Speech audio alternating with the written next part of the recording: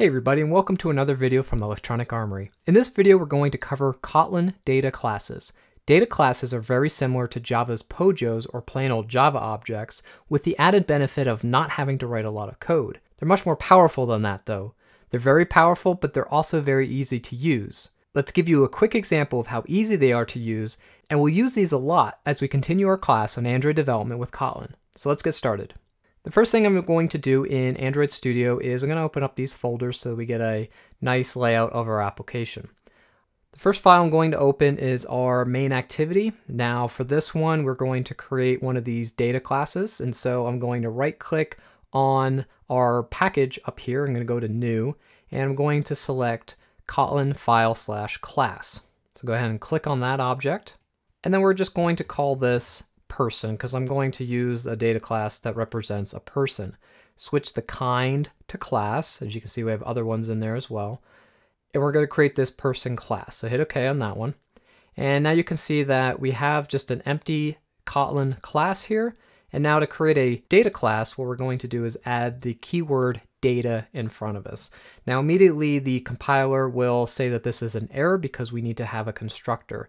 Now data classes require the constructor be written right here. And so as we create a parenthesis here, we can start filling in parameters that are going to be part or members of our person class. So if you think about a person, a person obviously has different attributes like a name and an age and a birthday. So we're going to start there.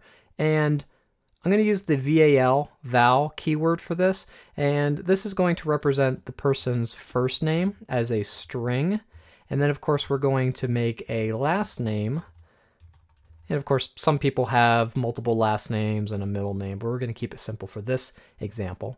And then after this, we're going to have a variable that represents the age, but age changes. And so we might not want to use the value keyword val because val means that those are going to be essentially constants or variables that are immutable, that they don't change. So usually a person's first and last name don't change, so we'll just keep this example simple for right now. But again, our age will change, so we'll make that a variable. And this is of course going to be an int. And then finally, we can put in a little bit more complex items in here, which is, uh, I'll put in a val, and this is going to be the birth date and birth dates do not change, so that's fine. And this is going to be a Java util class type. So this comes from the Java util package, of course, and we're just going to set this as type date. And of course, it automatically imported our Java util package up here, and that's great. One thing I'm going to do is I'm going to have this class be serializable. You'll see why in our next video, but I'm just going to go ahead and make this change now. And what this is essentially saying is that we can write this class essentially either to disk or to storage in some form, and that's what we mean by serializable, and then we can recall it from disk. Once we have this person object in here, we can then go into our main activity, and I'm going to create some room under our onCreate, and if you remember onCreate gets called when our activity gets created and, and set up. So the first thing I'm going to do is I'm going to create a person object of type person, and I'm going to set its constructor here. And so you can see we have a constructor automatically, and I'm going to hit enter on that. Now for this one, it's going to require me to enter in those parameters. So as the first parameter here is going to be the first name, and you can see that Android Studio pops up this little helper to remind me what that variable parameter is going to be named. So in this case, it's first name. And then as I end the double quotations, hit a comma, it's going to ask me for that last name. Pops up a little nice pop-up to help me, to remind me what that's going to be. So we're going to do this one. And then it's asking for an age. Of course, that's going to be an integer let's say we're about four years old and uh, for the birthday I'm just going to do today's date and so what we can do is just pass in a constructor date. Now Android Studio doesn't recognize date because it's a type of another class here and so it's going to ask me if I hold down the option and hit the enter key it'll auto import that. It's going to ask me which one because there's multiple versions of this date class. There's one from the util package that we're going to use and then there's one from the SQL package that we're not interested in. So go ahead and select that one.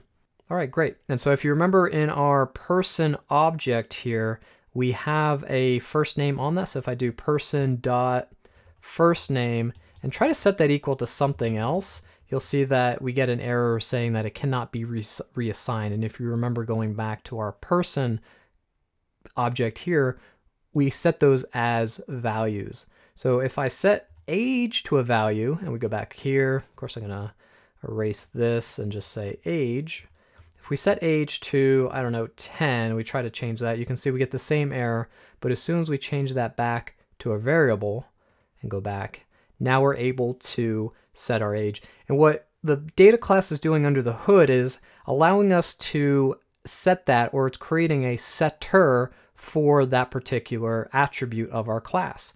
So we can change anything that has a particular variable on it, or we can simply do a getter on this. So if I wanted to print this out or something, I can do that. I just can't change it. Okay, so undo that. And that's essentially what our data class is and how we create it. Now there's a couple things that the data class is doing under the hood besides getting our getters and setters.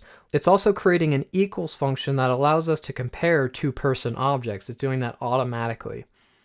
The other thing that it's doing is creating a copy function. So if we wanted to copy it, it'll do a copy for us and we can actually change the different values when we do the copy. So maybe I'm making a copy of a person and I want to make that into a child who shares the same last name.